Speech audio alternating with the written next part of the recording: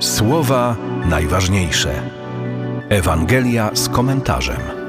Nowy rok, nowy kalendarz, nowy początek, nowe możliwości.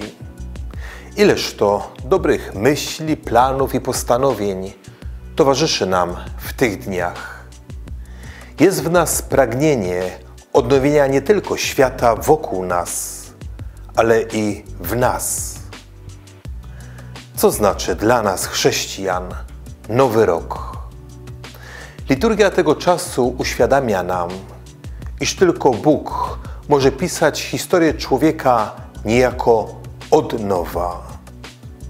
Widzimy to w Betlejem, przy żłóbku, w historiach tych, którzy otaczają Jezusa.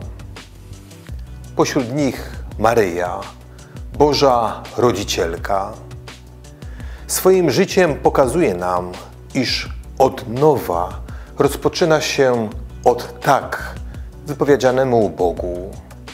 Od powtarzania niech nie moja, lecz Twoja wola się stanie. Od odkurzenia pamięci serca, od zaczerpnięcia z zachowanych wspomnień. Gdy na naszych oczach miłość odwraca porządek życia i śmierci.